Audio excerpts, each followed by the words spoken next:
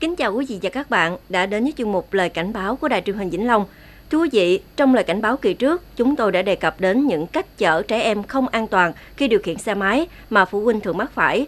Bên cạnh đó cũng có một bất cẩn khác hay gặp khi điều khiển xe máy, đó là việc dừng xe nhưng không tắt máy. Nghe thì tưởng chừng như chỉ là việc nhỏ, nhưng điều này có thể sẽ mang lại hậu quả rất nặng nề, nhất là khi chở theo trẻ nhỏ ngồi phía sau tay lái. Mời quý vị và các bạn cùng theo dõi lời cảnh báo ngày hôm nay để hiểu rõ hơn về mối nguy này. Xe lao đi với tốc độ kinh hoàng. Những cú dít ga như phim hành động, những cú vượt chướng ngại vật không thể tin nổi. Tưởng chừng những hình ảnh này chỉ xuất hiện trên phim ảnh, thế nhưng đây lại là hình ảnh ghi lại được trong thực tế.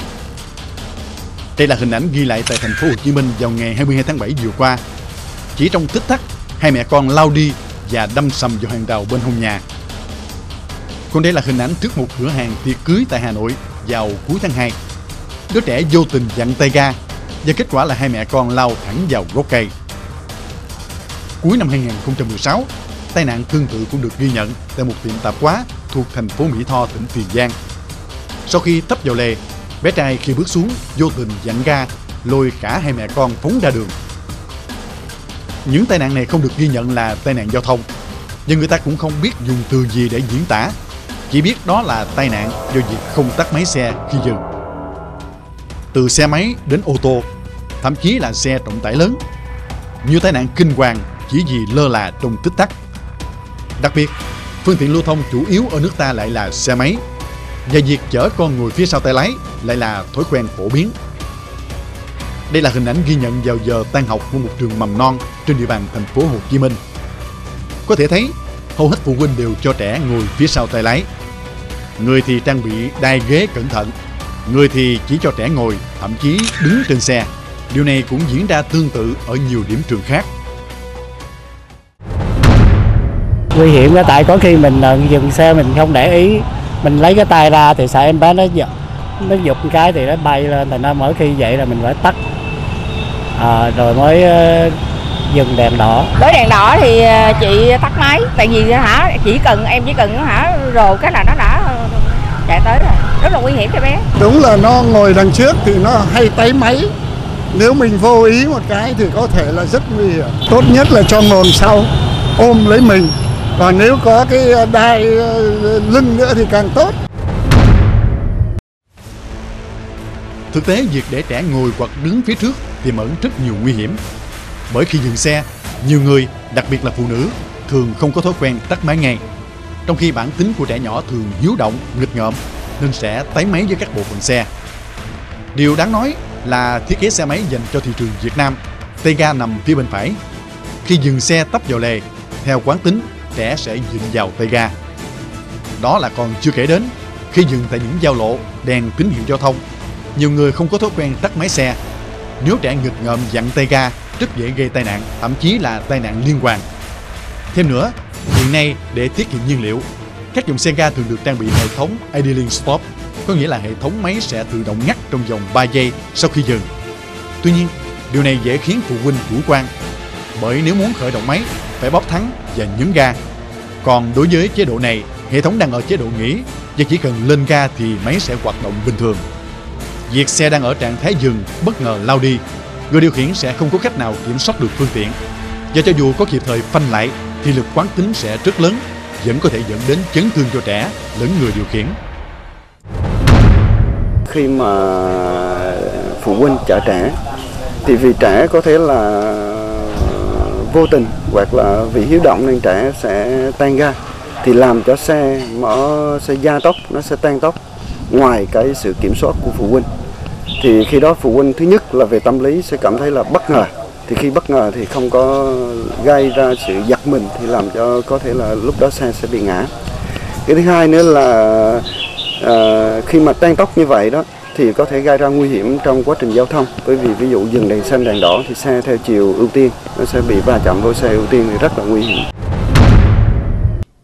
Không chỉ đối với xe máy mà ngay cả xe ô tô, xe tải trọng lớn nếu bất cẩn không tắt máy cũng rất dễ xảy ra tai nạn. Bởi chỉ cần vô tình lơ là, tai nạn là không thể tránh khỏi. Vì vậy, để phòng tránh tai nạn, khi dừng xe, phụ huynh hãy ngay lập tức tắt máy và rút chìa khóa. Hạn chế đến mức tối đa việc để trẻ ngồi hoặc đứng trong lòng người điều khiển phương tiện. Tuyệt đối không để trẻ tự cầm lái phương tiện. Nếu không có người đi kèm, phụ huynh nên mua đai để giữ trẻ ngồi phía sau đối với xe máy. Nếu gì trong tình huống không thể tắt máy, phụ huynh nên giữ chặt phanh để tránh trường hợp xe bất ngờ lên ga rồi lao đi. Thưa quý vị, không tắt máy khi dừng xe rất nguy hiểm, dù cho đó là loại phương tiện nào đi chăng nữa. Tuy nhiên, chúng ta hoàn toàn có thể ngăn chặn được những tai nạn đáng tiếc do nguyên nhân này chỉ với thao tác rất đơn giản là tắt máy và rút chìa khóa xe. Cẩn thận luôn là cách tốt nhất khi tham gia giao thông, nhất là khi trên xe có trẻ nhỏ, để bảo vệ an toàn cho con em và cả bản thân mình quý vị nha.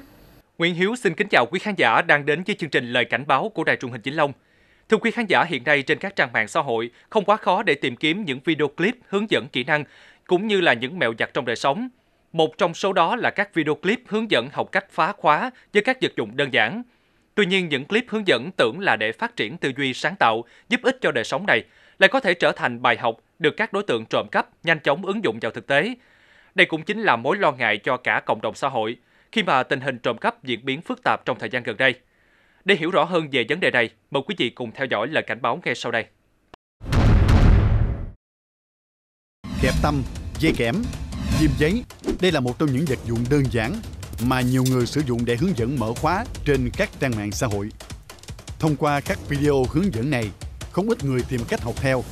Tuy nhiên, ngoài những người học để giải trí, thỏa sức sáng tạo, thì cũng có không ít người coi đây là cơ hội để học được những ngón nghề đạo chích. Điều đáng nói, nhiều người không biết rằng hành động tưởng vô hại của mình có thể trở thành bài học dở lòng cho nhiều tội phạm trộm cắp. đối tượng trộm cắp chuyên nghiệp thì bao giờ nó cũng phải có những cái học những cái kỹ năng đấy và thường là sẽ đối, những đối tượng này sẽ tìm đến những cái người mà chuyên về cái nghề bẻ khóa, phá khóa. Còn những cái thao tác ở trên mạng như vậy là rất đơn giản. Nhưng mà nó đơn giản như vậy không có nghĩa là nó không ảnh hưởng. Tại vì nó sẽ làm nảy sinh cái ý định phạm tội từ những cái người bình thường, những người mà đang có ý định phạm tội. Và họ sẽ dùng những cái thủ đoạn đó để bẻ phá khóa, để gây nên cái hành vi trộm cắp. Và như vậy thì nó sẽ một, xét về một cái cạnh nào đó thì nó sẽ là một cái nguyên nhân kích thích các đối tượng phạm tội để thực tăng thêm cái ý định cũng như cái động cơ để thực hiện hành vi phạm tội. Hiện nay trên các trang mạng xã hội chỉ cần gõ từ khóa cách mở khóa không cần chìa khóa là chúng ta sẽ thấy hàng loạt các video hướng dẫn mở khóa bằng các vật dụng đơn giản mà không cần tới chìa khóa. Những video này đã nhanh chóng thu hút sự chú ý của nhiều người và vô tình tiếp tay cho các đối tượng có ý đồ xấu. Trên thực tế, những clip hướng dẫn phá khóa trên mạng chỉ hướng dẫn người dân mở trong các trường hợp mất chìa khóa hay một sự việc hệ trọng nào đó. Tuy nhiên, rất nhiều đối tượng xấu đã lợi dụng nội dung có được từ các video này để thực hiện hành vi xâm phạm đến tài sản của người khác. Điển hình là vào đầu tháng 4 năm 2019, Lê Văn Hải ở Quảng Bình chỉ với hai chiếc cờ lê chưa đến 3 phút Hải đã phá được khóa để thực hiện hành vi trộm cắp tài sản với hơn 1,7 triệu đồng và 50 chiếc thẻ cào điện thoại. Theo điều tra ban đầu, đối tượng Hải khai nhận đã tự học cách phá khóa trên mạng rồi áp dụng để đi trộm cắp.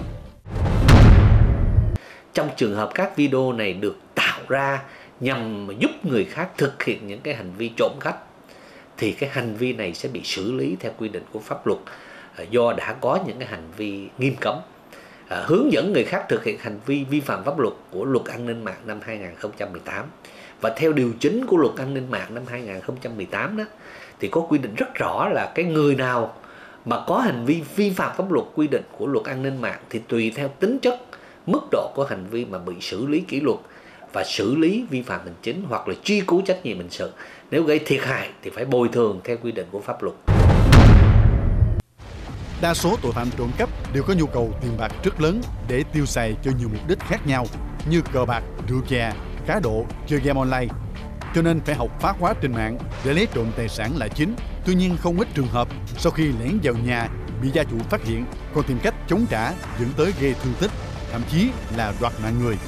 Trong khi đó, hiện nay ý thức cảnh giác của người dân chưa cao. Chính sự sơ hở mất cảnh giác trong quản lý, bảo vệ tài sản của nạn nhân đã là nguyên nhân tạo ra những điều kiện trực tiếp cho các đối tượng thực hiện hành vi trộm cắp tài sản. Ngoài ra, việc đăng tải các video trên mạng xã hội chưa được kiểm duyệt, quản lý chặt chẽ, dẫn đến việc kẻ xấu lợi dụng điều này, thực hiện mục đích cá nhân của mình. Với những hành vi à, tuyên truyền, phổ biến những clip à, bẻ phá khóa trên mạng như vậy, mà nếu như chúng ta xét theo cái tính chất mức độ nghiêm trọng thì các cơ quan chức năng à, hoàn toàn có thể phối hợp với các cái cơ quan chủ quản của các những cái trang mạng để tháo gỡ những cái video clip đó xuống, hoặc là có thể truy tìm ra cái người đăng tải những thông tin đó để xử lý và phạt hành chính, hoặc là thậm chí nếu như nó là nguyên nhân dẫn đến một cái hành vi phạm tội nào đó thì có thể truy cứu trách nhiệm hình sự nếu như nó vi phạm pháp luật.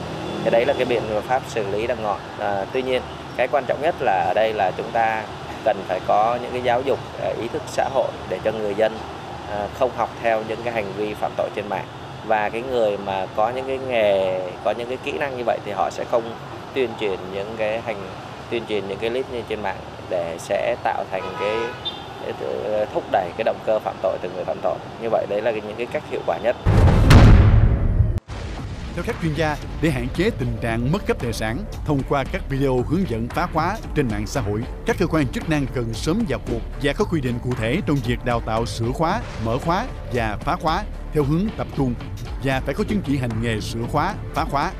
Có như vậy, việc quản lý các cơ sở đào tạo mở khóa, sửa khóa mới được thuận lợi. Bên cạnh đó, các lớp dạy học đào tạo online phải xin phép và phải đáp ứng đủ điều kiện theo quy định của Bộ Lao động Thương binh và Xã hội nhằm ngăn ngừa tình trạng dạy và học phá khóa nhằm phục vụ mục đích xấu.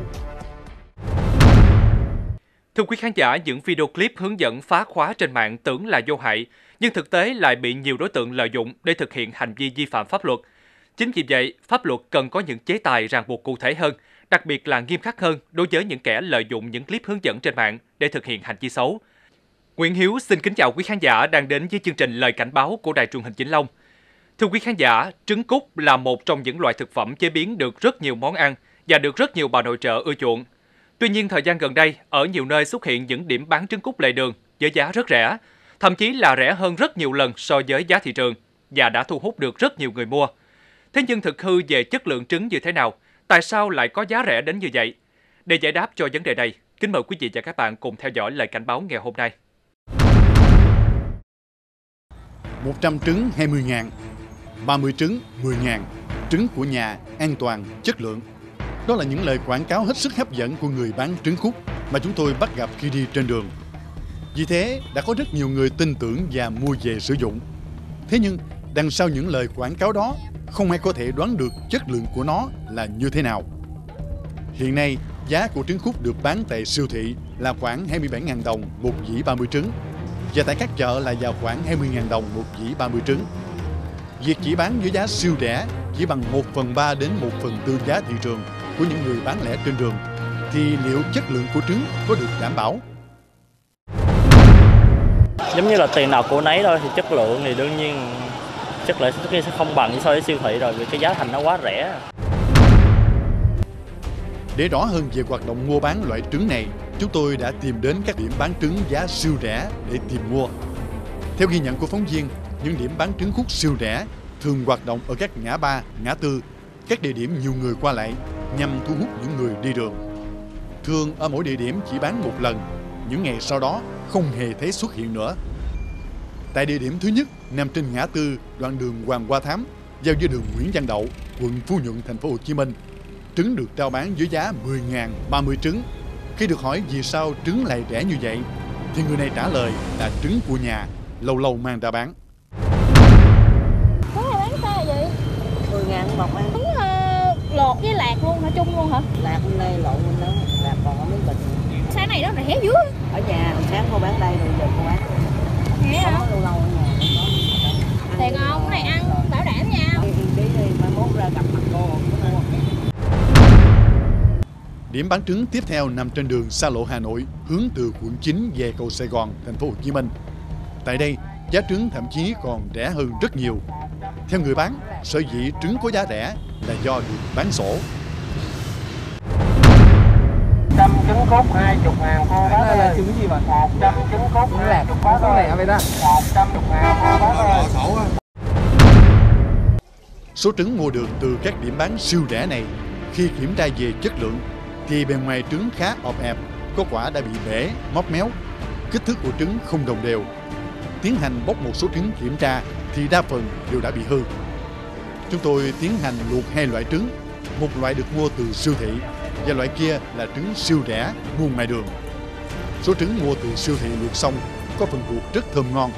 Còn số trứng siêu rẻ khi luộc trứng bị nổ và mùi hôi của trứng nồng nặc hơn khi nấu chín.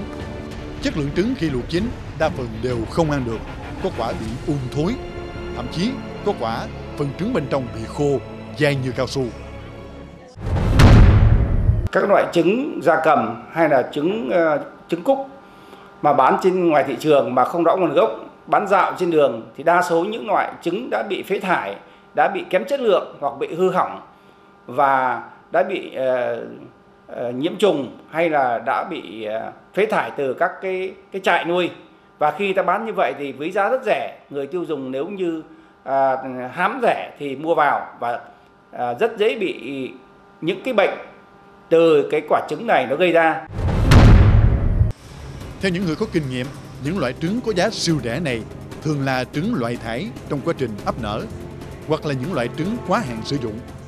Và trên thực tế, ngay cả những loại trứng đảm bảo chất lượng có hạn sử dụng nhưng khi bán ở ngoài trời trong điều kiện nắng nóng không được bảo quản thì chất lượng trứng cũng sẽ bị giảm xuống. Vì vậy, với việc bày bán trứng với điều kiện không được đảm bảo thì khi đến tay người tiêu dùng cũng không thể sử dụng được an toàn.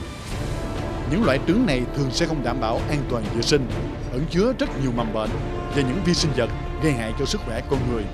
Thậm chí có thể gây ra những hậu quả nghiêm trọng khi ăn phải. Nếu chúng ta sử dụng những cái trứng mà đã bị ung thối thì dễ bị tiêu chảy vì trong cái trứng bị ung thối thì đã bị chuyển hóa tức là những chất ở trong quả trứng đã bị chuyển hóa hoặc đã bị nhiễm vi khuẩn nó làm chuyển hóa những cái trứng đó và không còn dinh dưỡng nữa nhưng nó chứa những chất độc cũng như vi trùng trong đó nếu người tiêu dùng ăn phải những loại trứng đó thì rất dễ bị ngộ độc thực phẩm ví dụ như tiêu chảy rồi mất nước có thể phải đi cấp cứu nếu trường hợp nặng thì có thể tử vong bán trứng giá rẻ nhưng không đảm bảo chất lượng là một hành vi lừa đảo, bán hàng gian hàng giả, lừa dối người tiêu dùng. Mặc dù đây chỉ là trứng khúc, không có thiệt hại quá lớn về vật chất, nhưng lại gây mất lòng tin nghiêm trọng của người dân đối với những người buôn bán lương thiện.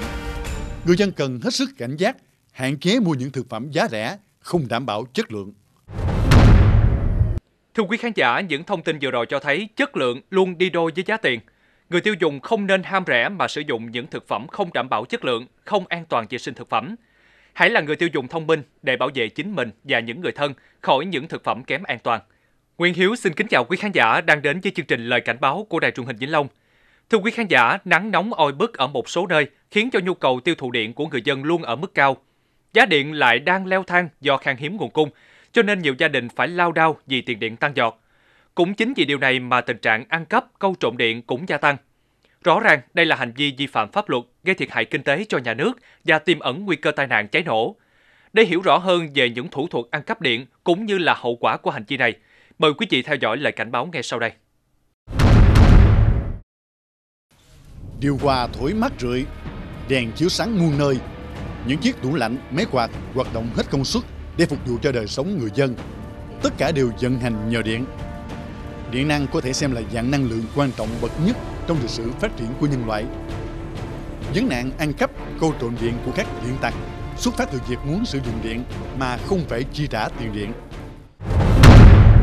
Trong quá trình tôi đi sửa điện đó, thì tôi thấy ờ, có nhiều người kể như là lấy cái đinh mà đóng vô sợi dây điện để mà mắc lưới ờ, ăn cắp điện của nhà nước. Tôi thấy ờ, đây là cái hành vi sai trái.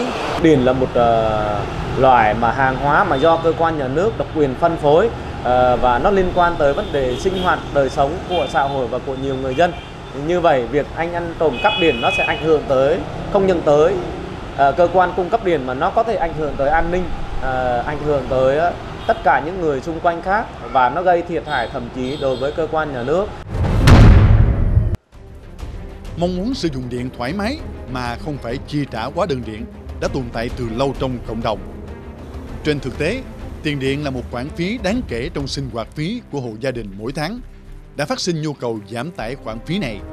Vì lẽ đó, một số đối tượng có hiểu biết về điện đã tìm hiểu được cách can thiệp vào hệ thống điện, thậm chí chọc ngoáy vào đồng hồ, công tơ để ăn gian lượng điện tiêu thụ, rồi truyền nhau cách thực hiện, làm bùng lên vấn nạn điện tặc như hiện nay. Điện tặc thường có hai dạng, những hộ gia đình câu trộm điện nhà nước từ lưới điện quốc gia và những đối tượng thuê trọ ăn cắp điện từ đồng hồ tính tiền điện của chủ trọ. Cả hai hình thức với hai quy mô khác nhau nhưng đều gây nhiều nguy hại. Trong cái ờ, xóm trọ em thấy có những người mà họ chọc máy chọc máy ờ, vào cái ờ, cái đồng cái đồng hồ á, cho nên là tiền điện của họ thấp. Cho nên trong phòng trọ thường là trong xóm á thường là bà chủ với mấy người đó thường là họ cãi nhau về tiền điện á. Theo như quy định của Bộ luật hình sự thì tùy cái số lượng anh trộm cắp điện, nếu cái số lượng đủ truy tố trách nhiệm hình sự thì việc trộm cắp điện nó cũng là một trong tình tiết mà được quy là à, uh, tăng nặng hoặc là xử phạt về mặt hình sự. Bởi vì uh, đây là đối với tài sản của nhà nước.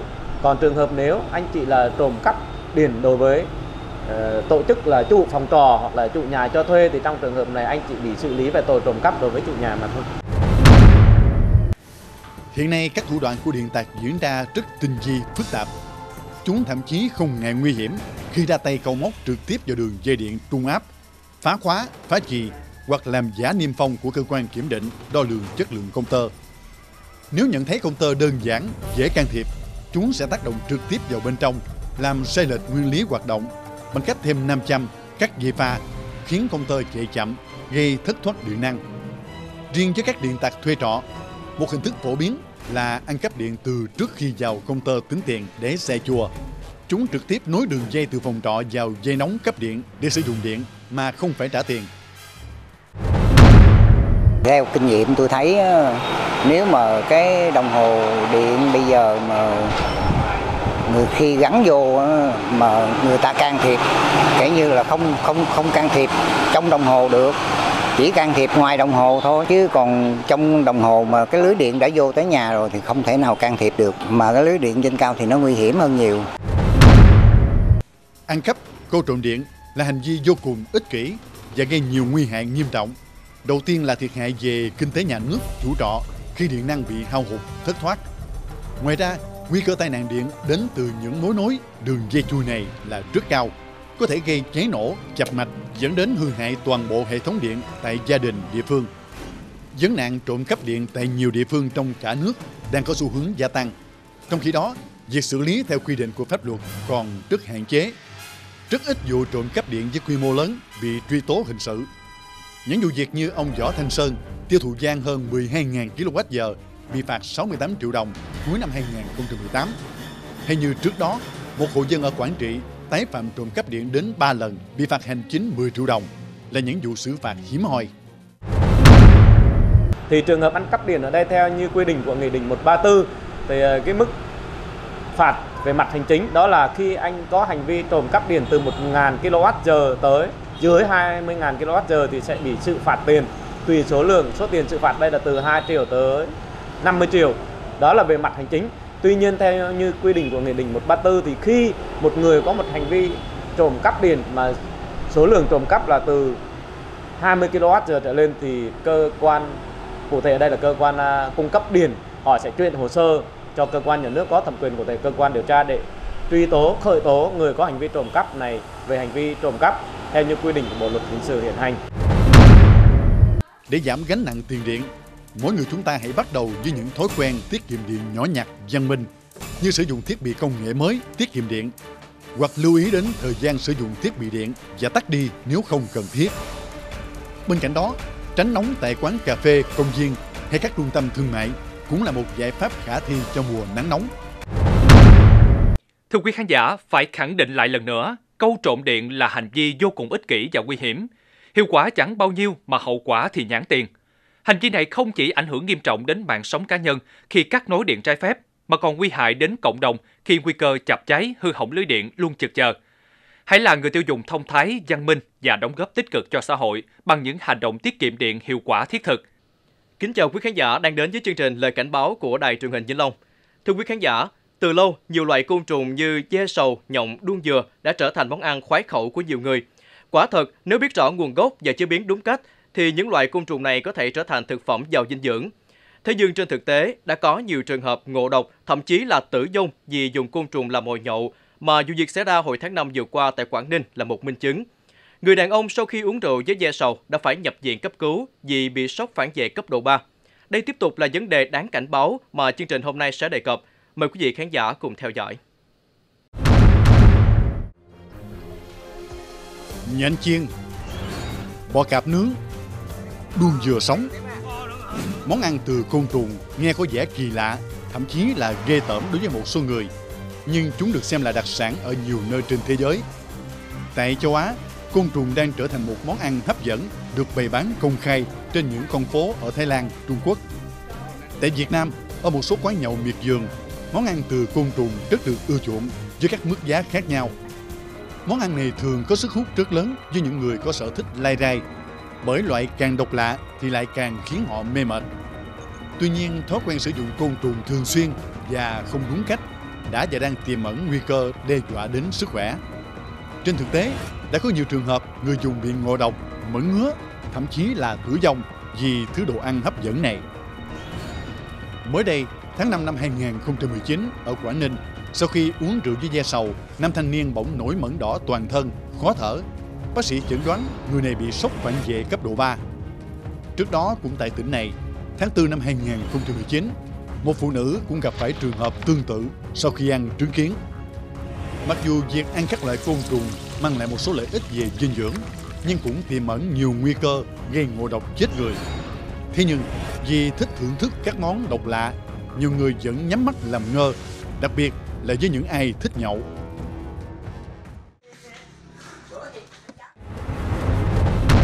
Quê thì ờ, thấy ờ, đầu mưa nè rồi ờ, đầu mùa mưa là nó nó hè đó là ve nó lên là là bắt cái con con ve mà nó bò lên nó lột cái cái vỏ vỏ vỏ vỏ đen ở ngoài rồi á. Ăn thì thấy nó ngon đó.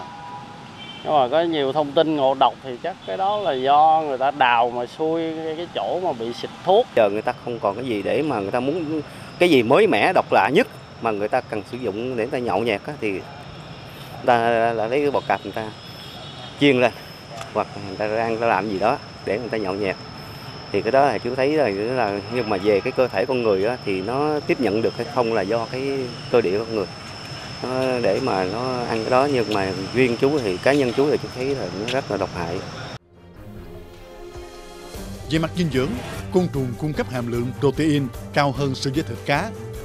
Một số loại giàu các vi chất như đồng, kẽm, sắt. So với nguồn protein hiện tại như thịt bò, hải sản thì côn trùng không hề gây ô nhiễm. Con người có thể dễ dàng chăn nuôi nhiều loại côn trùng trong một khoảng không gian mà không phải tốn quá nhiều công sức, cơ sở vật chất. Ở nước ta, người dân có quan niệm côn trùng bắt được trong tự nhiên thường không gây hại. Do đó khi chế biến, họ thường dựa vào kinh nghiệm mà không biết cách loại bỏ nọc độc của bọ cạp hay nhện.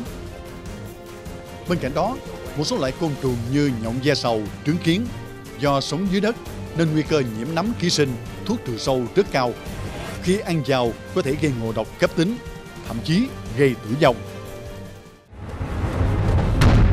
Như mà côn trùng mà bắt ở trong tự nhiên á, thì chúng ta không thể nào phân biệt được rằng là nó đã có bị nhiễm độc tố nấm hay không. Và cái độc tố nấm đó thì không thể phân hủy bởi cái nhiệt độ hoặc là trong cái lúc chế biến được. Nên là cái nguy cơ rất rất là cao. Còn à, đối với những côn trùng mà chúng ta biết được cái nguồn gốc rõ ràng đó, đó là côn trùng sạch. Chẳng hạn như là mình có mình à, một số nhà thì họ vẫn nuôi côn trùng à, thì mình có thể sử dụng cái nguồn à, côn trùng đó. Thì là nó thật ra là nó sẽ an toàn hơn là côn trùng đánh bắt trong tự nhiên. Thông thường thì người ta nói là những gì mà tự nhiên thì sẽ tốt cho sức khỏe, nhưng mà đối với lại côn trùng thì là không hẳn như thế mặc dù á, là cái giá trị dinh dưỡng của côn trùng á, à, mang một cái giá trị dinh dưỡng khá là cao tuy nhiên là nó cũng không có phải là thực phẩm vạn năng để mà thay thế hoàn toàn các loại à, thực phẩm khác. Chính vì vậy mà hàng ngày á, chúng ta vẫn phải đảm bảo rằng là cái cái nguồn dinh dưỡng nạp vào trong cơ thể của chúng ta bắt buộc là phải có đầy đủ các nhóm thực phẩm và côn trùng cũng chỉ là một cái món ăn để mà à, bổ sung thêm thôi. Khi bị ngộ độc, biểu hiện của các triệu chứng nhiều hay ít, nhẹ hay nặng, tùy theo độc tố trong côn trùng, tổng lượng đã ăn vào và cơ địa người ăn. Người uống rượu thường bị nặng. Các dấu hiệu thường gặp trong các vụ ngộ độc do ăn côn trùng là buồn nôn, run tay chân. Một số trường hợp nặng có dấu hiệu mẩn ngứa, co giật, chóng mặt, cứng hàm, khó thở, hôn mê. Việc thiếu hiểu biết trong lựa chọn chế biến côn trùng làm thức ăn hoặc tâm lý chủ quan như ăn tái, ăn sống, ngâm rượu đã và đang tiềm ẩn nhiều nguy cơ ảnh hưởng đến sức khỏe, gây ngộ độc, thậm chí gây tử vong cho người dùng. Nếu như mà côn trùng đã bị nhiễm à, nhiễm nấm thì là cho dù là chúng ta có ngâm với nước muối hoặc là chúng ta có chế biến như thế nào thì là cái à, độc tố nấm nó vẫn không bị phân hủy hoặc là vẫn không bị phá hủy bởi à, nhiệt độ. Nên chính vì vậy nếu như mà chúng ta ăn những loại côn trùng mà nó đã bị nhiễm cái độc tố nấm thì là nguy cơ ngộ độc rất là cao. Ngoài ra là côn trùng chứa nhiều protein lạ. Nên đối với những người mà dễ cơ địa dễ mẫn cảm thì chúng ta nên tránh. Tại một số những một một số côn trùng mà có độc tính cao hoặc là à, mình nói là cái cái à, người ví dụ như là người ta hay dùng là vỏ xích lửa để mà làm ờ, làm làm mồi nhậu để rang để nướng. Nhưng mà thực ra là vỏ xích lửa đó là rất là dễ là bị uh, ngộ độc thì à, à, trường hợp á, nhẹ là có thể là gọi là phòng rột dạ dày luôn rồi à, tiêu tiểu là có máu. Còn những trường hợp mà nặng hơn á, đó là gây ra hôn mê rồi à, rối loạn à, thần kinh là có thể là gây tử vong trong vòng à, 24 giờ. Chính vì thế là à, không phải là loại à, bỏ xích nào thì chúng ta cũng có thể ăn được. Theo các chuyên gia y tế khi ăn bất cứ loại côn trùng nào để tránh lây nhiễm vi sinh vật ngoài việc sơ chế sạch sẽ thức ăn cần phải nấu kỹ nấu chín để tiêu diệt hết vi sinh vật. Những ai có cơ địa dị ứng cần thận trọng trước khi ăn. Khi đi du lịch, đặc biệt là vùng sâu, vùng xa nên tránh ăn những côn trùng lạ vì thường có những độc tố không phù hợp với cơ thể con người. Nếu là đặc sản vùng miền cũng nên thận trọng, ăn thật ít để xem cơ thể có thích nghi hay không. Tuyệt đối không sử dụng các loại nhộng, ấu trùng, côn trùng lạ đã bị chết hoặc có hình dạng màu sắc khác lạ với tự nhiên nên lựa chọn những loại thông thường phổ biến còn tươi sống để chế biến thành thức ăn. Trong trường hợp sau khi ăn mà có các biểu hiện triệu chứng khác thường như mệt mỏi, choáng váng, mẩn ngứa, cần đến ngay các cơ sở y tế để được khám và điều trị kịp thời. Thưa quý khán giả, không thể phủ nhận các món ăn từ côn trùng có hàm lượng giá trị dinh dưỡng rất cao và tốt cho sức khỏe. Thế nhưng để côn trùng trở thành món ăn bổ dưỡng, người dùng cần lưu ý quy trình chế biến sao cho đảm bảo vệ sinh, loại bỏ được các chất độc hại, sử dụng đúng cách, đúng thời điểm. Ngoài ra, những người có cơ địa dị ứng cần phải lưu ý món ăn từ côn trùng có phù hợp với mình hay không. Chào mừng quý vị cùng đến chuyên mục lời cảnh báo của Đài truyền hình Vĩnh Long. Thưa quý vị, đối với các loại quả có vị chua như cốc, xoài, me, ngoài việc ăn trực tiếp còn có thể đem đi chế biến thành nhiều món ăn giặt hấp dẫn. Trong đó, ngâm cốc, xoài hay me trong nước đường là cách thường được sử dụng vì giúp các loại quả này vẫn giữ được độ giòn nhưng bớt đi vị chua, tăng thêm vị ngọt. Tuy nhiên để chúng có bề ngoài bắt mắt, trắng đẹp và để được lâu, nhiều người bán đã sử dụng thêm quá chất. Vậy những hóa chất đó là gì? Có nguy hiểm như thế nào đến sức khỏe? Câu trả lời sẽ có trong chuyên mục lời cảnh báo ngày hôm nay. Mời quý vị cùng quan tâm theo dõi. Cốc, xoài, me, cà na những loại trái cây có vị chua như thế này đều có thể biến thành những miếng trái cây ngâm giòn ngọt, hấp dẫn chỉ qua vài công đoạn chế biến. Thơm ngon, hấp dẫn là thế, nhưng chúng có thực sự sạch và an toàn. Là món ăn vặt khá phổ biến, không khó để bắt gặp những hũ trái cây ngâm với đa dạng chủng loại, nhưng thường thấy nhất vẫn là món cốc xoài và me ngâm. Thông thường, chúng được đựng trong những bình thủy tinh lớn và ngâm chung với dung dịch màu vàng trên các xe đẩy, điểm bán vỉa hè. So với loại chưa qua chế biến, trái cây ngâm có giá khá cao, từ 10.000 đồng đến 20.000 đồng 100 gram tùy loại và tùy nơi bán. Theo một người bán trái cây ngâm trước cổng bệnh viện Tân Phú, thành phố Hồ Chí Minh, nước trong bình ngâm là hỗn hợp được nấu từ nước, đường và một chút muối.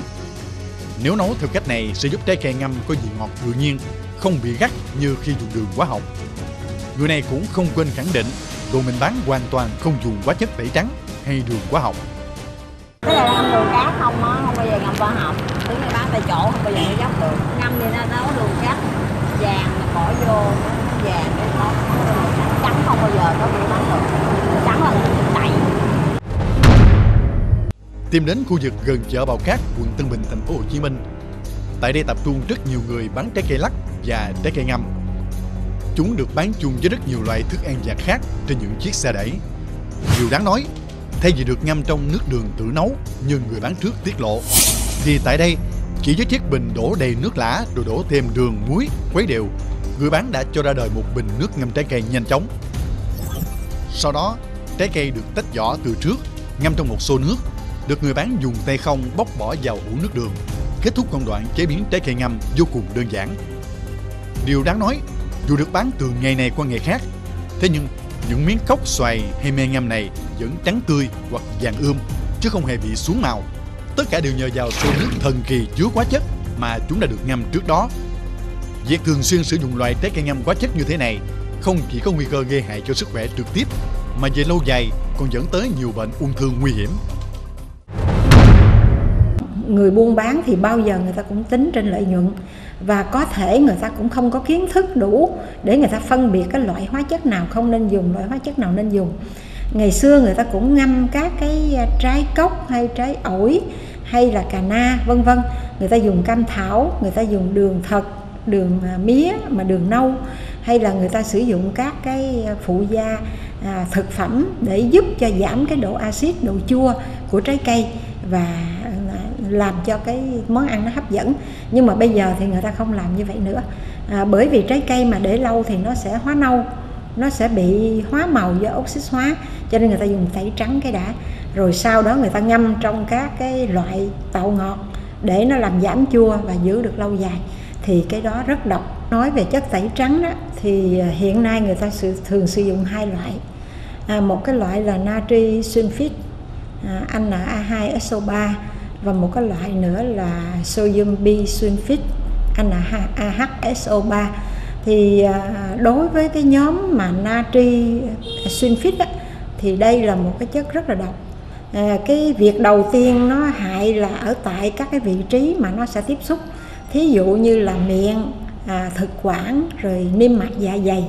Ở miệng đó thì có thể gây loét miệng lưỡi à, hay niêm mạc má trong à, ở dạ dày thì nó sẽ gây viêm loét và đau dạ dày. À, tuy nhiên cái việc đó nó chỉ thoáng qua rồi sau đó nó đến ruột và sẽ hấp thu vào trong máu thì nó lại có tác động lên trên tế bào và nó có thể nó gây ra ung thư ở một số cơ quan. À, cái chất thứ hai là cái chất là sodium bisulfite thì nó cũng vậy. Đây là một cái chất mà được cho phép trong cái công nghệ thực phẩm. Người ta sử dụng để tẩy trắng một số rau quả hay là đồ trái cây đóng hộp. À, người ta thấy ở một cái liều lượng nhất định thì nó không gây hại không gây độc. À, tuy nhiên khi mà nó à, tích lũy à, với cái hàm lượng nào đó thì nó sẽ gây độc. Cái gây độc này nó rất là dữ dội là nó gây ngay trong cái quá trình sớm khi hấp thu vào trong máu. À, nó sẽ gây ung thư ruột ung thư dạ dày ung thư gan à, một số cái khác như thận như một số nơi à, và về sau này thì gần như người ta cấm hẳn không được sử dụng nó vào trong cái chất để mà tẩy trắng nữa nhưng mà đối với chúng ta ở đây hiện nay thì trên thị trường vẫn còn sử dụng hai loại này để tẩy trắng rau quả và trái cây không chỉ được sử dụng quá chất tẩy trắng các loại trái cây ngâm này còn tiềm ẩn nguy cơ mất an toàn vệ sinh thực phẩm do quá trình chế biến, bảo quản rất mất vệ sinh. Tại một khu chợ ở quận 5 thành phố Hồ Chí Minh, một điểm bán trái cây ngâm khác nằm ngay trên vỉa hè. Điều đáng nói, thay vì nằm trên xe đẩy, tủ bán hàng, những bể thủy tinh đựng trái cây ngâm được đặt ngay dưới sàn, mặt đất, dơ bẩn. Bên cạnh đó, nhiều nơi bán còn đựng trái cây ngâm trong những hũ thủy tinh cáo bẩn, nhiều ngày không được vệ sinh, không có nắp đậy và người bán thì lại dùng tay không bóc trực tiếp như thế này. Có hai cái nguy cơ có thể xảy ra, đó là ngâm lâu, bán không hết rồi tiếp tục giữ như vậy thì nó sẽ trong cái nước đó nó sinh ra các cái nấm các cái men à, nấm mốc. Thì đây là một cái rất là nguy hại. Nó gây ngộ độc hoặc là nó gây tiêu chảy cấp rồi nó gây những cái ngộ độc về sau trong cái quá trình mà thâm nhập vào cơ thể. Và cái nguy cơ thứ hai đó là cái chế biến ở ngoài đường phố hay là để dưới đất. Thì đây là cái điều kiện để cho ký sinh trùng hay là vi trùng các cái vi sinh vật thâm nhập vào và do vậy bên cạnh cái chuyện có thể gây ngộ độc từ các cái nấm men sinh ra trong quá trình giữ lâu và đồng thời các vi sinh vật này nữa thì nó gây ra những cái ngộ độc thực phẩm cấp tính hoặc mạng tính à, hoặc là gây ra những cái tình trạng tiêu chảy cấp. Và thậm chí những có một số trường hợp tiêu chảy cấp mà chúng ta không tìm được nguyên nhân nó gây mất nước và nó có thể ảnh hưởng đến sinh mạng của mình. Trước những thông tin trên, có thể thấy trái cây ngâm là loại thực phẩm có nguy cơ cao bị nhiễm bẩn kép bởi quá chất lẫn vi sinh vật. Đây đều là những nguyên nhân gây ra hàng loạt vấn đề nguy hiểm cho sức khỏe như ngộ độc cấp hay các loại bệnh ung thư. Chính vì vậy, nếu muốn sử dụng trái cây ngâm an toàn thì tốt nhất người dân nên tự làm ở nhà. Nếu không, nên chọn ăn trái cây còn tươi, vừa giữ được vitamin, vừa hạn chế nguy cơ nhiễm độc, nhiễm bẩn từ món thức ăn giặt quen thuộc này. Thưa quý vị, khác với trái cây lắc mới xuất hiện trong những năm gần đây, món cốc, xoài hay me ngâm từ lâu đã trở thành món ăn vặt quen thuộc của nhiều người, nhất là trẻ em. Tuy nhiên, trước nguy cơ có thể bị làm bẩn, nhiễm hóa chất nguy hiểm, thì người tiêu dùng cần phải hết sức cẩn trọng để tránh những nguy cơ về sức khỏe. Chào mừng quý vị và các bạn đã đến với chuyên mục Lời cảnh báo của Đài truyền hình Vĩnh Long. Thưa quý vị, dịch quay là món ăn khoái khẩu của nhiều người, nhất là trong những dịp đặc biệt như lễ Giáng sinh, mừng năm mới hay là Tết Đoan Ngọ, dân dân. Thế nhưng đằng sau dễ dịch thơm lừng béo ngậy, màu sắc hấp dẫn là gì? Liệu những nguyên liệu tẩm ướp có an toàn và nguồn nguyên liệu có đảm bảo chất lượng? Chúng có nguy cơ gây hại đến sức khỏe như thế nào? Câu trả lời sẽ có trong chuyên mục Lời cảnh báo ngày hôm nay. Mời quý vị cùng quan tâm theo dõi. Những con vịt quay thơm phức với màu sắc bắt mắt có thể làm siêu lòng những thực khách khó tính nhất. Thế nhưng, bên cạnh những cơ sở uy tín, thương hiệu nổi tiếng, thì song song đó vẫn tồn tại một quy trình chế biến mà nếu không tận mắt tìm hiểu, hẳn là không ai có thể tưởng tượng hết được. Quy trình làm vịt quay sẽ gồm nguyên liệu, hương liệu tạo ướp và cuối cùng là đưa vào lò quay. Bắt đầu từ nguồn nguyên liệu, chúng tôi tìm đến các khu chợ đầu mối để tìm hiểu. Và điều bất ngờ là giá mà chúng tôi nhận được lại rẻ bất ngờ. Nghìn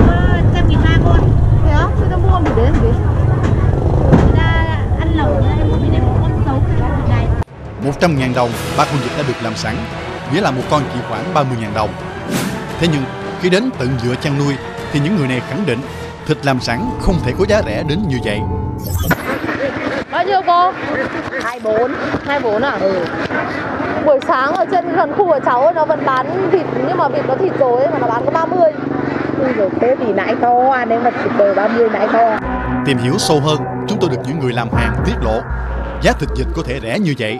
Đó chính là thịt vịt đã được bơm nước để ăn gian trọng lượng.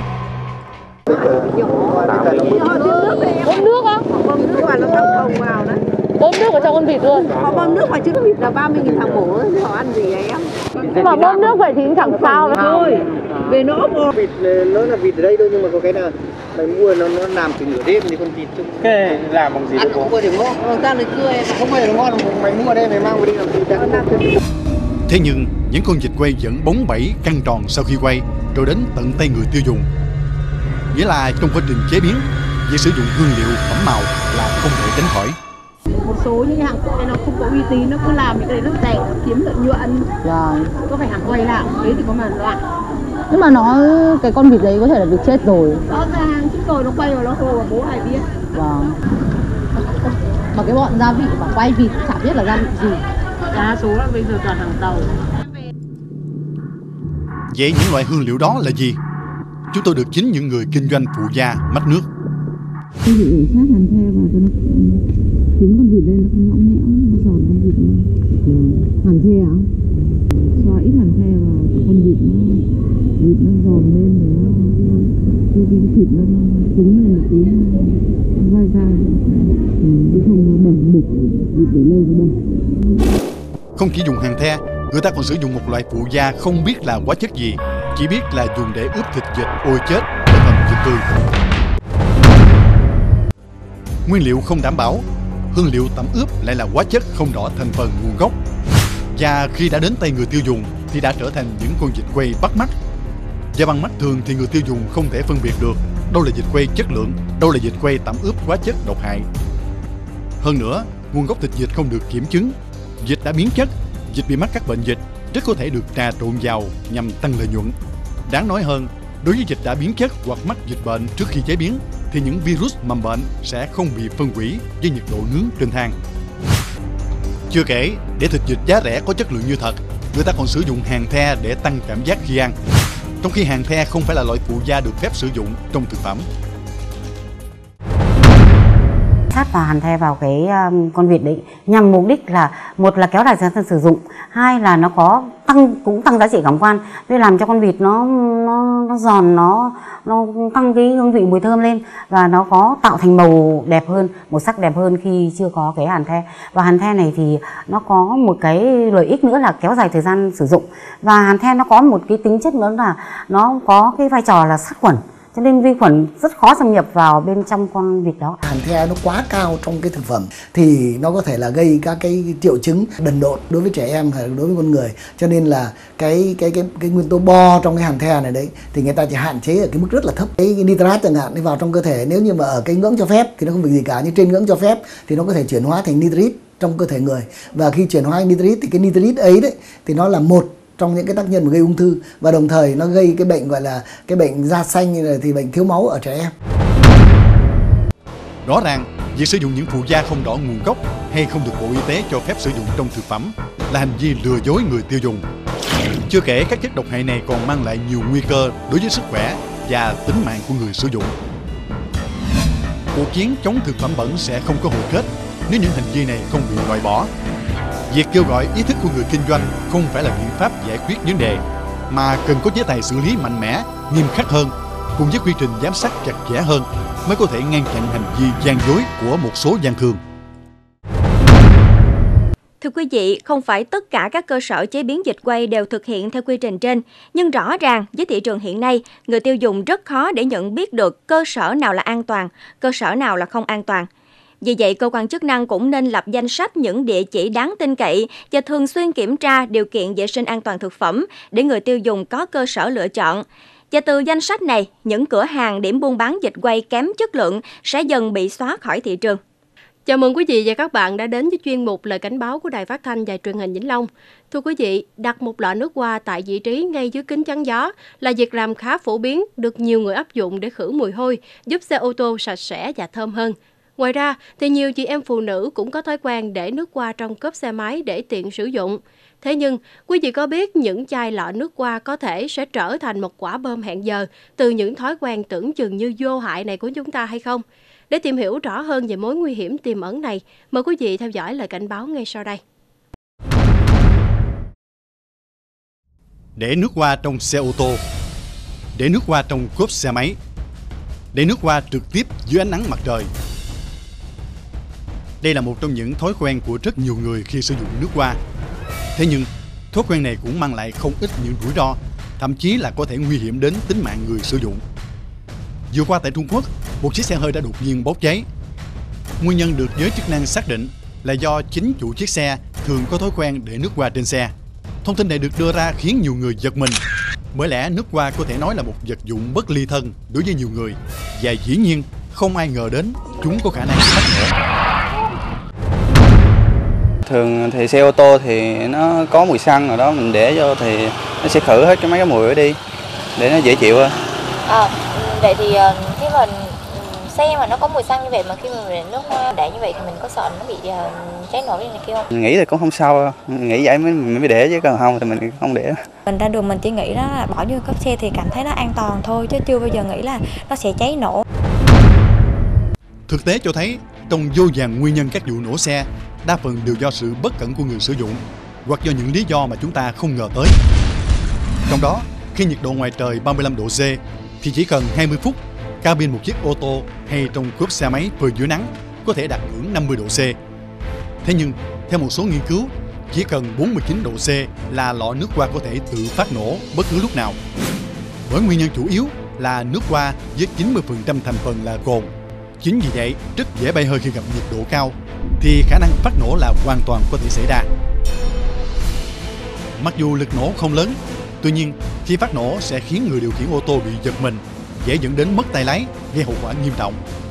Còn đối với xe máy, việc nổ nước qua trong cốp xe sẽ khiến xe phát cháy, nhất là khi đang hoạt động. Bên cạnh đó, các loại nước hoa có dạng thấu kính lồi cũng là nguồn cơn gây ra các vụ nổ.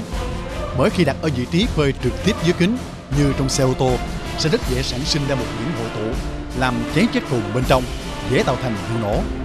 Ngoài ra, việc người dùng có thói quen hút thuốc khi đang lái xe hoặc để cùng nhiều vật dụng dễ cháy cũng sẽ là nguồn cơn gây nên vụ cháy. Thành phần chính trong nước hoa ngoài những cái chất gây mùi tạo mùi thơm thì thành phần chính hơn 90% trong đó là cồn, ethanol. Thì cồn là một cái chất mà chỉ cần để nhiệt độ phòng thôi là nó cũng sẽ tự bay hơi.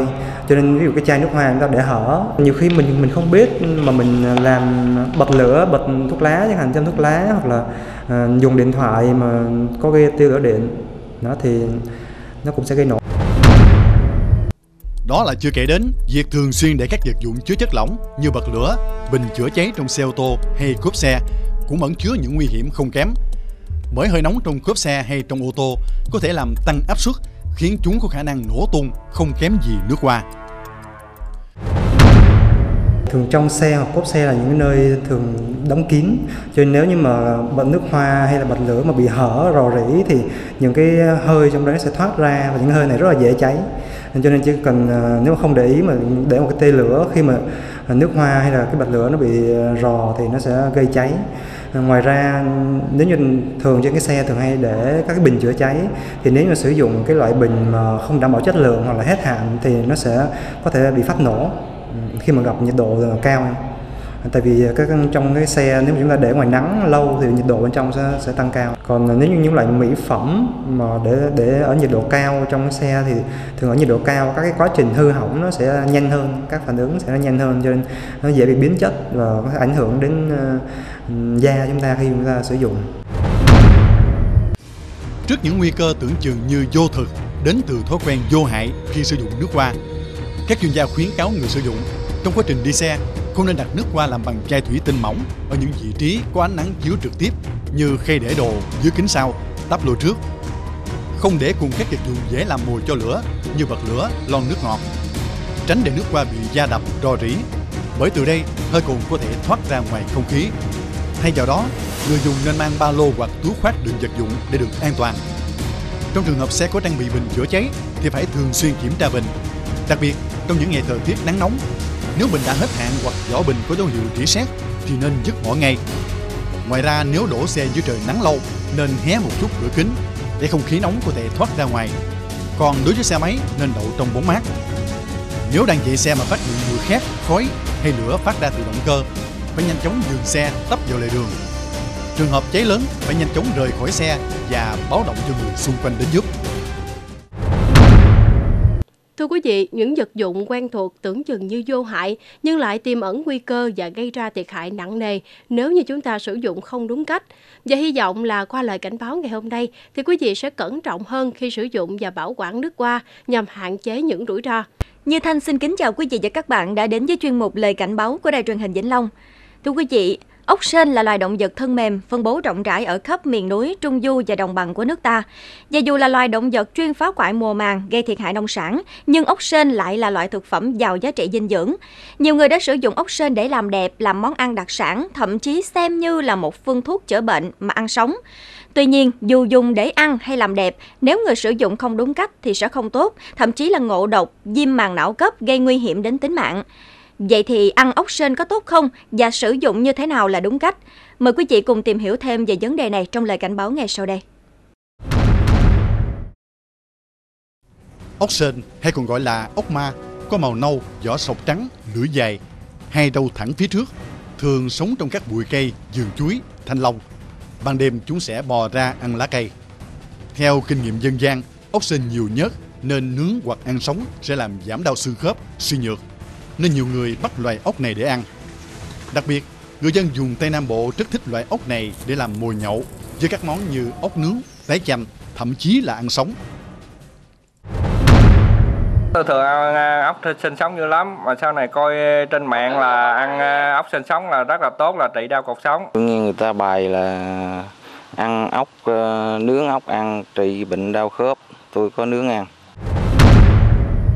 Theo đông y, thịt ốc sên có chứa nhiều chất đạm và các axit amin hơn những loại ốc khác nên giá trị dinh dưỡng cao. Ngoài ra, với tính vị mặn hàng, ốc sên được sử dụng làm thuốc, có công dụng bổ dưỡng, thanh nhiệt, giải độc và lợi tiểu.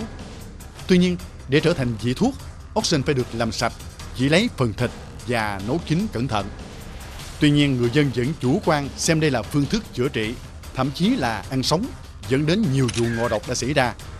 Điển hình như đầu tháng 9, một nam thanh niên đã nuốt ốc sên sống, sau đó khó thở, nôn ói liên tục. Người này được chẩn đoán bị viêm màng não. Tại Tiền Giang, nam thanh niên đang khỏe mạnh đã bị liệt nặng, mất tri giác sau khi nướng ốc sên ăn. Một trường hợp khác, người phụ nữ 47 tuổi đã tử vong khi ăn ốc sên sống để trị bệnh loét dạ dày. Bản thân ốc sên không có độc, tuy nhiên do môi trường sống ngoài tự nhiên nên ốc sên lại là khí chủ của nhiều loại ký sinh trùng gây bệnh, truyền ấu trùng du sáng cho người ăn. Chưa kể, ốc sên lại là loài ăn tạp.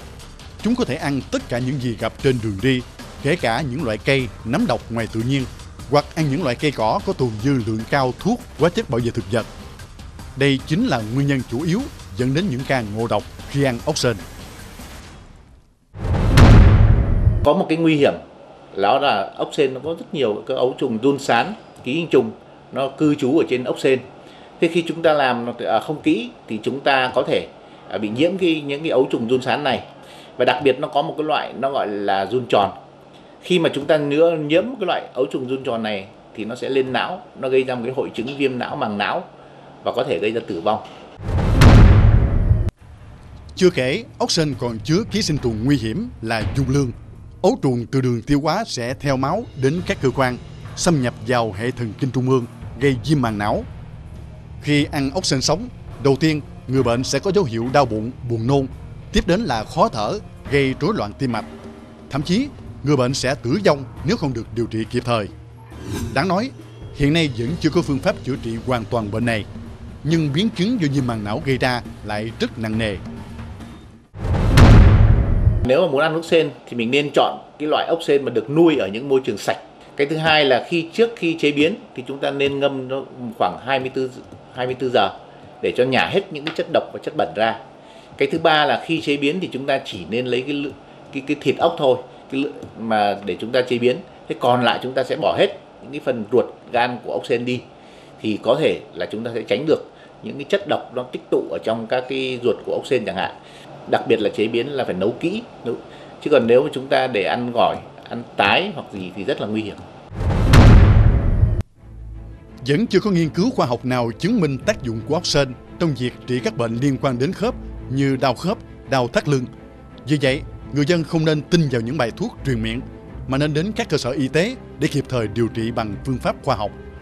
Khi có nhu cầu ăn ốc sên, cần đặc biệt lưu ý nguồn gốc và phải được nuôi trong môi trường có kiểm soát. Chỉ ăn phần thịt của ốc sên, bỏ toàn bộ phần ruột gan, ống tiêu hóa của chúng. Tuyệt đối không ăn ốc sên sống hoặc dạng tái, phải chế biến kỹ để tránh bị nhiễm các loại ký sinh trùng.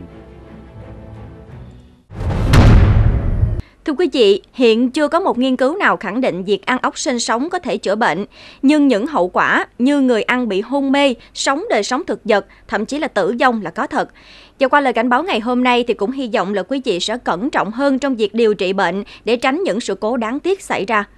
Xin kính chào quý khán giả đang đến với chương trình lời cảnh báo của Đài truyền hình Vĩnh Long. Thưa quý khán giả, lâu nay tình trạng cướp của giết người xảy ra với nạn nhân là những tài xế xe ôm là một vấn đề khiến nhiều người lo ngại. Và trong thời gian gần đây, cùng với sự nở rộ của tài xế xe ôm công nghệ, khiến số vụ cướp nhắm tới đối tượng này cũng ngày một nhiều hơn. Dù đa số cánh tài xế xe ôm công nghệ đều rất cảnh giác, nhưng vì cơm áo gạo tiền, họ đành phải bám trụ với nghề. Vậy tại sao các tài xế xe ôm công nghệ lại là đối tượng bị kẻ xấu nhắm đến? Và làm thế nào để họ có thể nhận diện được bọn tội phạm và đảm bảo an toàn tính mạng? Câu trả lời sẽ có ngay sau đây. Mời quý khán giả cùng theo dõi. Thời gian gần đây, liên tiếp các vụ cướp nhắm vào tài xế xe ôm công nghệ đã xảy ra. Mới đây, vào ngày 21 tháng 10, một tài xế GrabBike chạy xe máy qua khu xã Xuân Thới Thượng, huyện Hóc Môn, thành phố Hồ Chí Minh, bất ngờ bị một tên cướp dùng vật nhọn đâm vào cổ, đứt cuốn họng, cướp đi xe máy và điện thoại di động. Trước đó không lâu, ngày 19 tháng 10, một nam sinh viên hành nghề lái xe ôm công nghệ cũng đã bị kẻ gian sát hại, cướp xe máy và toàn bộ tài sản mang theo người tại huyện Bình Chánh, thành phố Hồ Chí Minh. Tháng 7 năm 2018, một tài xế xe Grab cũng bị hai đối tượng dụ vào đường vắng sát hại, cướp tài sản ở Bình Dương. Ngoài các vụ cướp kể trên, thời gian qua đã có rất nhiều vụ cướp với tính chất ngày càng nghiêm trọng. Những vụ việc này không chỉ gây thiệt hại tài sản, sức khỏe của những người hành nghề lái xe ôm công nghệ, mà còn đe dọa đến tính mạng, khiến không ít người bất an, lo lắng. Qua báo đài rồi uh, qua anh em uh, Grab uh, nói chuyện với nhau thì tôi cũng rất, rất là lo sợ.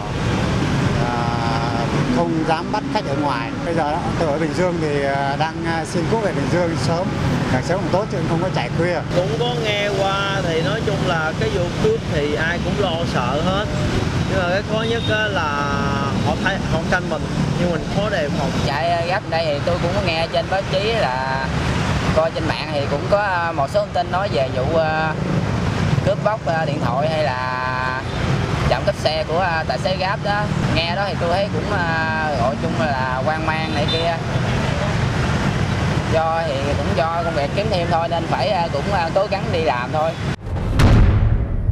Qua những vụ cướp xe ôm công nghệ gần đây có thể thấy phần lớn nạn nhân bị cướp đều sử dụng loại xe máy đắt tiền. Nguyên nhân là do hiện nay các tài xế xe ôm công nghệ đa phần là người trẻ. Họ thường sử dụng xe máy đời mới, đắt tiền và đều trang bị điện thoại thông minh. Đây là những tài sản có giá trị rất dễ khiến kẻ cướp nổi lòng tham nhắm vào. Đặc biệt, trên ứng dụng một số hãng xe ôm công nghệ còn cho phép khách hàng lựa chọn tài xế sử dụng các loại xe đắt tiền ví dụ như GrabBuy Premium trên ứng dụng đặt xe của Grab. Theo đó, khách hàng có thể đặt được các loại xe đắt tiền sang trọng hơn. Đây chính là điều kiện thuận lợi cho kẻ gian lựa chọn con mồi. Ờ, nói công nghệ là nói đến những cái phương tiện hiện đại thì tối thiểu những người lái xe như vậy thì trước hết họ phải có những cái phương tiện hiện đại mà để giao tiếp ừ, thuận lợi rồi để thu hút khách hàng. Thì đó chính là những cái chiếc điện thoại ừ, điện thoại thường là điện thoại đời mới, đắt tiền cả. Và tất nhiên là một trong những cái phương tiện mà để có thể thu hút khách hàng thì đó là cái phương tiện vận chuyển cũng của mình cũng phải tốt ừ, và đẹp. Cái tài xế mà chạy xe công nghệ chúng này cũng có thể là có có tiền bạc nữa.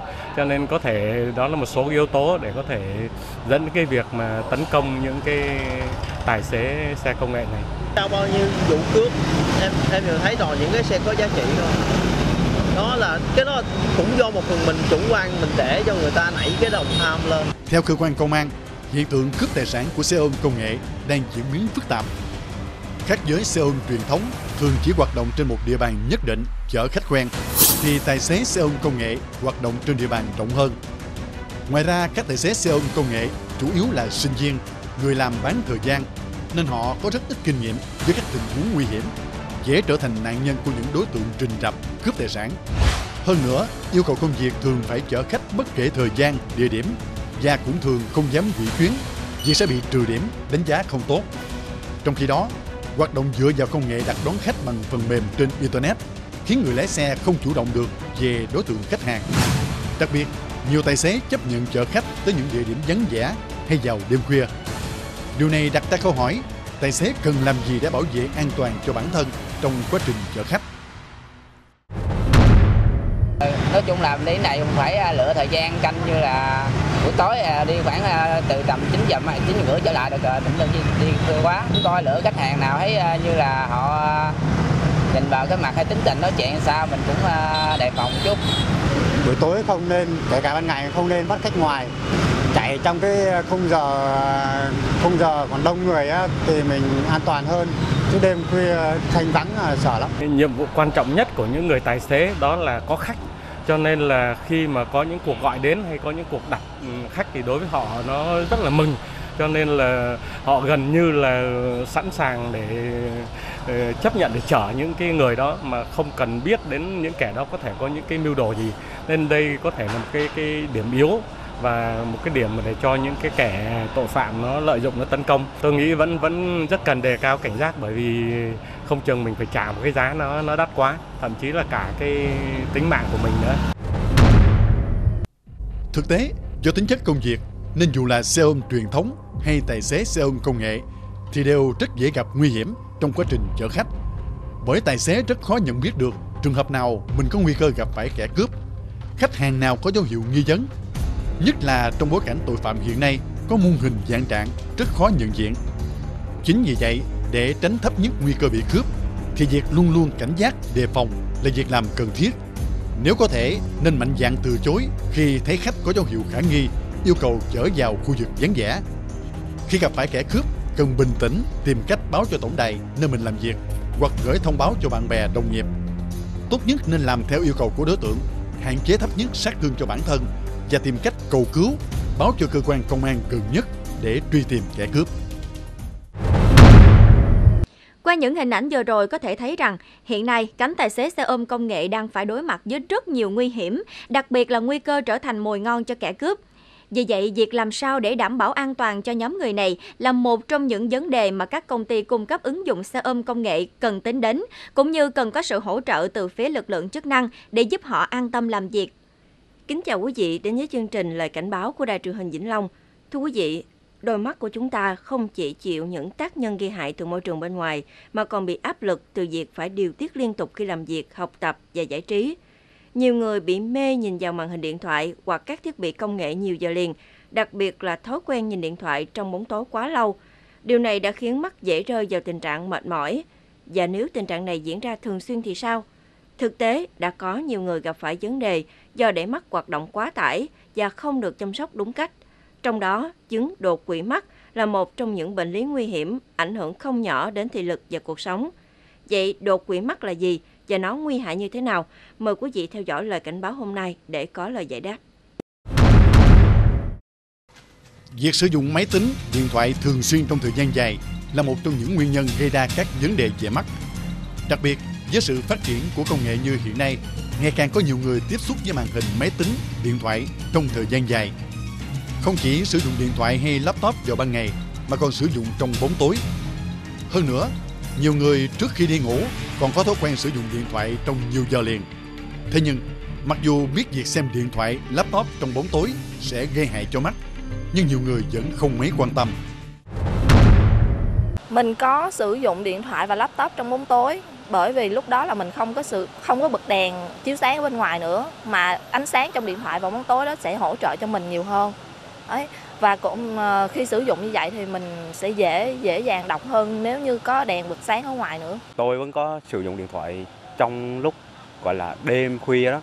Vì nhiều lúc buổi ngày là mình đi làm thời gian, không có đủ thời gian để mình, gọi là, lướt web để xem tin tức này này nọ. Còn thực tế là mình đang ở tập thể nên nhiều lúc mình mở điện, đèn lên thì người ta nói chung nhiều lúc mình sẽ nghĩ làm phiền người ta nhiều quá. Tôi có sử dụng ờ, em à, hả vì à, thứ nhất là lúc ngủ đó là xong đã tắt đèn hết trơn rồi.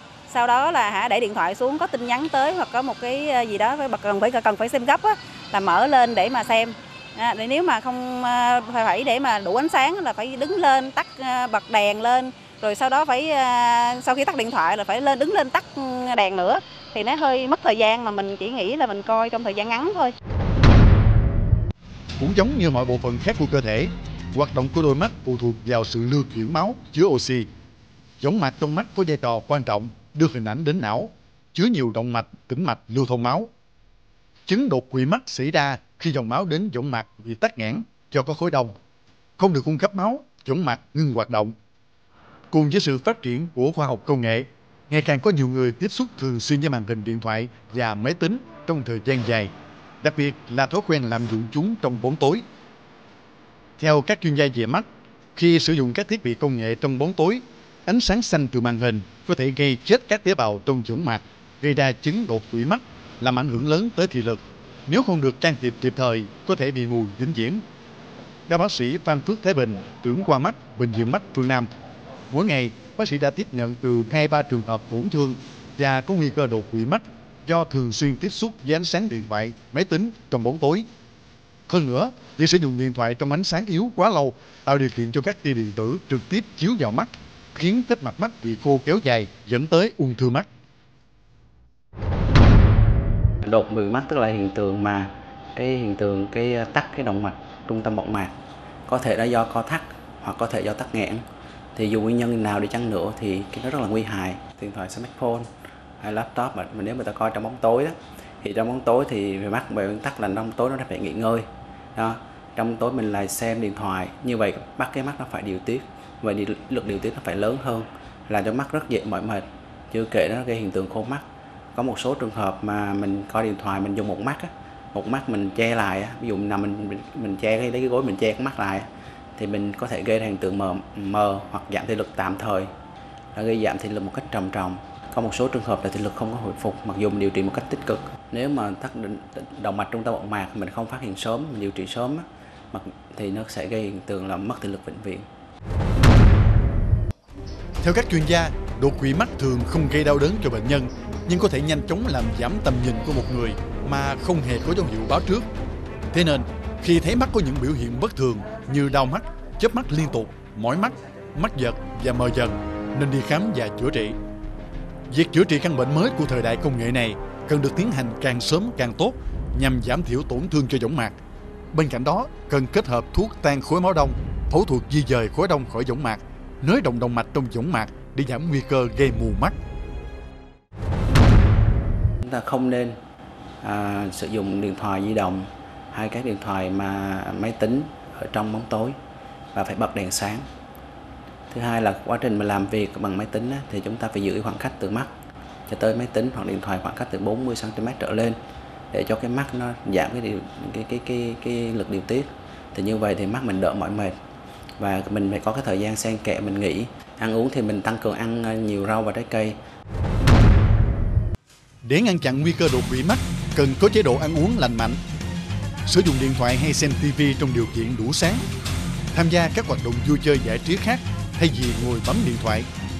Khi nhận thấy tầm nhìn bị suy giảm hoặc biến mất trong một khoảnh khắc hãy đến các bệnh viện chuyên khoa để khám và chữa trị kịp thời nhằm giảm thiểu tổn thương cho võng mạc nguyên nhân hàng đầu dẫn đến chứng đột quỵ mắt. Ngoài ra nên hạn chế việc tiếp xúc với ánh sáng xanh của các thiết bị công nghệ vào ban đêm để tránh ảnh hưởng đến mắt. Thưa quý vị, hầu như mọi hoạt động trong ngày chúng ta đều cần đến đôi mắt, nên nhận ra tầm quan trọng của mắt và biết cách bảo vệ chúng là điều cần thiết. Và như các chuyên gia đã khuyến cáo, chúng ta cần phải để mắt làm việc cũng như là nghỉ ngơi một cách hợp lý. Đặc biệt, ngay khi mắt có dấu hiệu bất thường thì phải đến gặp bác sĩ nhãn khoa để thăm khám ngay.